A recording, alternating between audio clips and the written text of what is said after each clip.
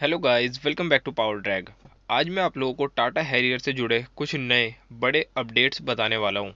Basically आप भी सोचते होंगे कि यार हैरियर लेने का मन है बजट भी अलाउ करता है बट कुछ ऐसी चीज़ें हैं हैरियर के अंदर जिस वजह से आज की डेट में भी उसकी जो सेल्स फिगर है, कहीं ना कहीं पे आधी हैं। आप लोग लगा लो आधी हैं या फिर आधी से भी ज़्यादा उसकी सेल्स फिगर के ऊपर इफ़ेक्ट पड़ता है उस चीज़ का, जिसका नाम है टाटा हैरियर के अंदर पेट्रोल इंजन का ना आना। आप लोग जानते होंगे कि हैरियर हर एस्पेक्ट से गाड़ी बढ़िया है। सॉलिडनेस के मामले में बहुत अच्छी है। लुक सबकी चलो अपनी प्रेफरेंस हो गई। बाकी फीचर्स भी अच्छे ऑफ़र करती है। मैंने खुद चलाई हुई है। चलाने में बहुत रिलायबल है। बहुत मज़ा आता है और एक सबसे बड़ी चीज़ हैरियर चलाते हो एक कॉन्फिडेंस भी बहुत तगड़ा बिल्ड वो गाड़ी कहीं ना कहीं पर करती है। बट वहीं पे अगर देखें हैरियर के हम प्रॉब्लम्स कहीं ना कहीं सबसे बड़ा उस गाड़ी का अंदर यही प्रॉब्लम है कि उसमें आपको पेट्रोल इंजन नहीं मिलता। जिस वजह से ना चाहते हुए भी जिन लोगों को पेट्रोल में गाड़ी चाहिए, वो एमजी की हेक्टर की तरफ़ चले जाते हैं।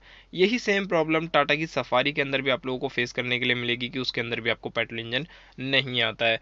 वहीं पर अगर आप लोग चाहते हैं कि मुझे बहुत तगड़े फीचर्स चाहिए तो आप एक सेगमेंट नीचे आके कहीं ना कहीं क्रेटा या किया सेल्टॉस जैसी गाड़ियों को कंसिडर कर लेते हैं। बट अगर अब आप लोग चाहते हैं कि हाँ आपको अगले साल तक 2022 तक टाटा हैरियर के अंदर ये सारी चीज़ें मिल जाए तो आप डेफिनेटली हैरियर के साथ जाएँगे। तो आज आप लोगों के साथ मैं हैरियर के रिगार्डिंग सारी यही इन्फॉर्मेशन शेयर करने वाला हूँ। सबसे पहली चीज़, आप में से हर कोई जानता है कि टाटा की गाड़ियाँ इतनी ज़्यादा सॉलिड होती हैं, उस हिसाब से उनके अंदर इंजन भी सॉलिड होने बहुत ज़रूरी है। डीजल इंजन तो टाटा की सॉलिड गाड़ियों को मस्त चलाए फिरते हैं, उनमें कोई दिक्कत नहीं आती, कहीं वो अंडर पावर नहीं लगते, कहीं पर उनके अंदर लेगिनेस फील नहीं होती है। वहीं पर अगर हम सबसे बड़ा एग्ज़ाम्पल आल्ट्रोस का ले लें तो कहीं ना कहीं पेट्रोल इंजन थ्री सिलेंडर होने की वजह से काफ़ी ज़्यादा अंडर पावर लगता है। एंड टर्बो आने के बाद भी उसकी जो प्रॉब्लम थी, अभी भी वैसी की वैसी है, कोई बहुत ज़्यादा उसके ऊपर इम्पैक्ट नहीं पड़ा है। तो इस वजह से टाटा को अपने पेट्रोल इंजन के ऊपर बहुत बढ़िया तरीके से आर करने की ज़रूरत है। बट हैरियर अगर आप लोग लेने के बारे में सोच रहे हैं तो हैरियर के अंदर आप लोगों को एक ब्रांड न्यू 2.0 लीटर का four cylinder turbocharge petrol engine देखने के लिए मिलने वाला है, जो कि टाटा कैरी करने वाली है एमजी से। एमजी से हो सकता है कि आपको टाटा के अंदर एक पेट्रोल इंजन देखने के लिए मिले, जिसको टाटा अपने हिसाब से, अपनी गाड़ी के aerodynamics body to weight ratio के हिसाब से रीट्यून करेगी और अपनी हैरियर के अंदर लगा के आप लोगों के साथ बेचा जाने वाला है। कहीं ना कहीं पेट्रोल इंजन का फ़ायदा आने से ये भी रहने वाला है कि अगर आप बेस वेरिएंट लेना किसी भी गाड़ी का प्रेफर करते हैं स्पेशली मान लो हैरियर का ही करते हैं तो डीजल ऑब्वियसली भाई महँगा रहता है और पेट्रोल में आप कम से कम भी नहीं तो अपने एक से डेढ़ लाख रुपए आराम से सेव कर लेते हैं, अगर आप पेट्रोल गाड़ी के साथ जाते हैं। तो क्योंकि मोस्ट ऑफ़ द टाइम बंदा यही सोचता है कि यार मेरी रनिंग अगर कम है तो मैं डीजल इंजन अननेसेसरी क्यों परचेज करूँ? डीजल इंजन की कहीं ना कहीं पर सर्विस कॉस्ट भी ज़्यादा आती है। अब ऐसा भी नहीं है कि बहुत ज़्यादा फ़र्क हो मगर फिर भी काफ़ी हद तक डिफरेंस आपको पेट्रोल डीजल की सर्विसिंग के अंदर भी मिल जाता है और दूसरा दिल्ली जैसे शहर के अंदर आप लोग डीजल गाड़ी सिर्फ़ और सिर्फ़ दस साल चला सकते हैं। क्योंकि काफ़ी लोग पंद्रह बीस लाख रुपए किसी भी गाड़ी के ऊपर ये सोच के लगाते हैं कि चल यार पंद्रह लाख रुपए लगा रहा हूँ तो कम से कम पंद्रह साल तो एटलीस्ट मैं इसको चलाऊँगा ही। चलो पंद्रह नहीं तो भी दस बारह साल तो एटलीस्ट बंदा गाड़ी को चलाने वाला होता है तो उन सब चीज़ों को कंसिडर करते हुए डीजल इंजन थोड़ा सा वैल्यू फॉर मनी नहीं नज़र आता है। और दूसरा, अगर पेट्रोल की बात करी जाए तो आज की डेट में पेट्रोल इंजन को कंपनियाँ इस तरीके से रिट्यून कर रही हैं। उनके साथ आपको हाइब्रिड टेक्नोलॉजी ऑफ़र कर देती हैं और भी बहुत सारी चीज़ें मिल जाती हैं, जिससे कि आप पेट्रोल के अंदर भी काफ़ी एक अच्छी माइलेज निकाल पाते हैं। तो आपको इस वाले इंजन के अंदर भी काफ़ी एक अच्छी माइलेज मिलने वाली और एक हाइब्रिड टाइप की ही टेक्नोलॉजी भी आपको हैरियर के अंदर देखने के लिए मिलेगी, जो कि कहीं ना कहीं पे आपकी जो फ्यूल इफिशियंसी है उसको बिल्कुल आसमान में ले जाएगा। मतलब कि आप ये लगा लो, एक 2000 सीसी का अगर आपको सिटी के अंदर तेरह चौदह की या ज़्यादा ज़्यादा, मान लो साढ़े तेरह की भी एवरेज निकाल के देता है तो मेरे हिसाब से कोई बुरी नहीं है। एंड अगर आप इस गाड़ी को हाईवे पे लेके जाते हैं और क्रूज़ लगा के छोड़ देते हैं सत्तर अस्सी की स्पीड पे तो आप आराम से इस गाड़ी से बहुत बढ़िया माइलेज ले पाएँगे। कम से कम भी नहीं तो last seventeen to eighteen K M की, और हो सकता है कि नाइनटीन भी आपकी गाड़ी टच कर जाए। और बाकी सबसे बड़ी चीज़ माइलेज डिपेंड करती है कि आप अपनी गाड़ी को चला कैसे रहे हैं। दूसरा, काफ़ी लोग सोचते हैं कि हैरियर एक तो फ्रंट व्हील ड्राइव गाड़ी अगर कभी किसी सिचुएशन में ऑफ़ रोड करना पड़ जाए तो क्या ये गाड़ी वो चीज़ करने में सक्सेसफुल रहेगी? तो गाइस बड़ी न्यूज़ निकल के सामने ये भी आ रही है कि पता चल रहा है कि टाटा अपनी हैरियर के अंदर एक और अपडेट देंगे 2022 के अंदर, जहाँ तक है फोर बाय फोर भी इसके अंदर ऑफ़र करा जाने वाला है। रूमर्स ये भी है कि फोर बाय फोर जो आएगा, वो आपका टोटली डीजल के साथ आएगा पेट्रोल के साथ फोर बाय फोर मिलने के चांसेस बहुत ही ज़्यादा कम है।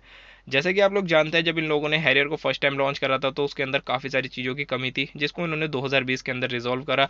न्यू टाइप के इसके अंदर एलॉय व्हील्स दे दिए, दूसरा इसमें पैनारोमिक सनरूफ ऐड कर दिए, और छोटे छोटे ऐसे फीचर देखो तो कितने सारे इन्होंने ऐड करे थे। अगेन वही सेम चीज़ अब ये लोग अगले साल भी करने वाले हैं सेम हैरियर के साथ, क्योंकि हैरियर टाटा का एक काफ़ी अच्छा प्रोडक्ट है, काफ़ी बढ़िया सेल होता है, और लोग इसके ऊपर ट्रस्ट भी काफ़ी ज़्यादा दिखाते हैं सॉलिड होने की वजह से। सॉलिड तो इतनी ज़्यादा हैरियर मैं रियलिटी बता रहा हूँ, मैं एक बार रिव्यू शूट कर रहा था, और आगे उसका बोनट इतना भारी है, इतना भारी है, अगर आप सोचे कि नॉर्मली एक हाथ से उठा लेंगे तो पॉसिबल नहीं है। मारुति युंडई इनके बोनट आप एक हाथ से उठाओ, मज़ाक है। मगर टाटा की किसी भी गाड़ी का बोनट एक हाथ से उठाना स्पेशली हैरियर का, बहुत टफ काम है, बहुत ज़्यादा टिपिकल काम है, काफ़ी ज़्यादा हैवी है तो वहाँ पे भाई बिल्ड क्वालिटी भी एक नंबर की मिलती है। दूसरा, इस गाड़ी के अंदर आपको अब न्यू फीचर्स के अंदर एयर वेंटिलेशन वाली सीट्स भी देखने के लिए मिल जाएँगी। जैसे कि टाटा हैरियर के अंदर आप लोगों को वायरलेस मोबाइल फ़ोन चार्जिंग के जैसे फीचर्स नहीं आते, या फिर आप लोग कह सकते हैं थोड़े स्मार्ट फीचर्स नहीं आते, जैसे कि आपको कहीं ना कहीं पे किया सेल्टोस हो गई यूंडई क्रेटा हो गई एम हेक्टर हो गई, ये गाड़ी ऑफ़र करती है। वो सारे फीचर आपको हैरियर के अंदर थोड़े मिसिंग लगते हैं लाइक जैसे कि सबसे पहली चीज़ इसके अंदर, बड़ी इन्फोटेनमेंट स्क्रीन तो आती है लगभग एट पॉइंट एट इंचज़ की। बट आज की डेट में लोगों को साढ़े दस इंची की जब सॉलिड जैसी गाड़ी में मिल रही है तो एक्सपेक्ट करेंगे भाई हैरियर के अंदर भी कहीं ना कहीं दस इंची से उनको बड़ी स्क्रीन देखने के लिए मिले। और उसके अंदर फीचर्स भी बहुत सारे आ जाए। एरियर के अंदर अब आप लोगों को एम्बेंट लाइटिंग हो गई, या फिर आपके मोबाइल फ़ोन कनेक्टेड कार के फीचर आई जैसी चीज़ें मिलती है एक्सप्रेस कूलिंग हो गई सारी चीज़ें तो आएँगी ही। बट अब आप लोग इस गाड़ी के अंदर, जैसे कि आप लोग क्रेटा के अंदर ब्लू लिंक की मदद से अपना गाड़ी को स्टार्ट वगैरह कर सकते हैं। इस टाइप के भी फीचर्स आपको हैरियर के अंदर अब टाटा ऑफ़र करने वाला है, जिनकी कहीं ना कहीं पर ज़रूरत भी है, क्योंकि सेगमेंट के अंदर और कंपनियाँ ऑफ़र कर रही हैं। इनसे नीचे सेगमेंट में आने वाली जब गाड़ियाँ ऑफ़र कर रही हैं तो इतनी बड़ी गाड़ी, इतने महँगे प्राइस पर जिसको बंदा खरीद रहा है तो वहाँ पर एक्सपेक्टेशन हाई होना बनता है, एक बेसिक सी बात है। पैनोरामिक सनरूफ आती है, जो एक बहुत अच्छी चीज़ है, गाड़ी के अंदर होनी भी चाहिए, जो मस्त भी लगती है और काफ़ी कूल भी है, काफ़ी बड़ी भी है। तो उस चीज़ को लेकर कोई कंप्लेंट्स नहीं है बट इसके अंदर जैसे एयर वेंटिलेशन वाली सीट्स नहीं है, बड़ा इन्फोटेनमेंट नहीं है कनेक्टेड कार के फीचर्स नहीं है फोर बाय फोर नहीं है फ्रंट व्हील ड्राइव है रियर व्हील ड्राइव भी नहीं है। तो इन सारी चीज़ों को कहीं ना कहीं टाटा आपकी बार रिजॉल्व करने वाला है और रियर व्हील ड्राइव गाड़ी नहीं आएगी फ्रंट व्हील ड्राइव ही रहेगी बट जो फोर बाय फोर है, वो आपको इसके अंदर देखने के लिए मिल जाएगा। वो भी कुछ गिने चुने वेरिएंट्स के अंदर। ऐसा नहीं होगा कि सबके अंदर आएगा। जैसे सफारी का एडवेंचर निकाला था तो उन टाइप के वेरिएंट्स के अंदर आपको फोर बाय फोर देखने के लिए मिलेगा।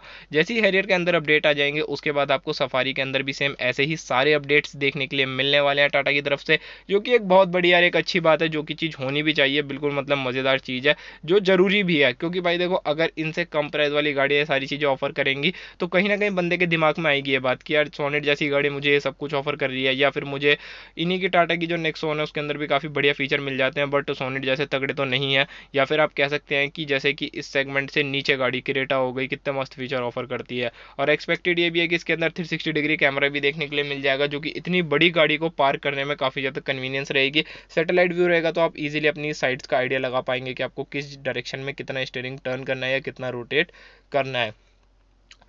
तो बाकी भाई, आज का वीडियो तो बस ऐसा ही था। अगर इन्फॉर्मेशन अच्छा लगा हो तो आप लाइक कर सकते हो और अगर कुछ क्वेश्चन क्यूरी हो तो आप मेक श्योर नीचे कमेंट डाउन करके पूछ सकते हो, मैं आपको आंसर कर दूँगा। करते हैं आज के वीडियो क्लोज अच्छा लगा हो तो लाइक कर देना, कुछ कमी पेशी लेके हो तो कमेंट करके पूछ लेना। जब तक के लिए bye bye take care signing off Preet